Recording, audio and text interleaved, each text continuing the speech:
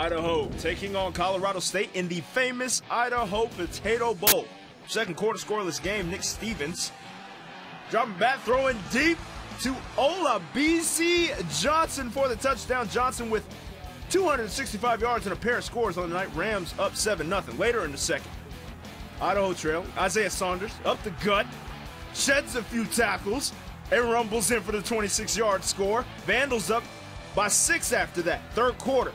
Idaho ahead 13. Matt Linehan gets plenty of time in the pocket to go through his reads, decides, ah, I'll take this one in myself, sheds a tackle. He's in there for the score. A little shimmy afterwards. Because why not?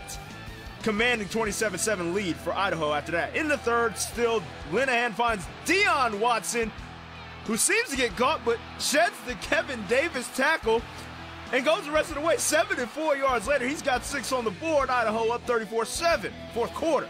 Linehan dropping back, avoids the sack. That's the drill. Throws to Jordan Frysinger. Makes the grab one handed despite the DPI. Doesn't, does not matter.